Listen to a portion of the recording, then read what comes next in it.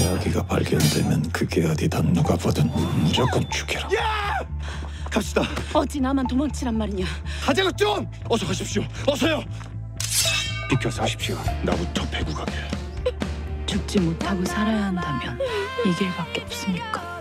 옹주자가가 대골로 들어가면 이제 다시 못 보는 거야? 어차피 우리랑은 신분도 사는 것도 다른 사람이야.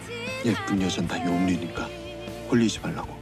그 형님이랑 저도 죽이실 겁니까? 그래야 이 비밀이 지켜지지 않겠습니까? 저것들 반통속이란 뜻 아니겠어? 한 가지 방책이 있긴 한데 잠깐. 사람을 붙여두었으니 이번에 놓치지 말고 확실하게 처리하셔야 할 겁니다.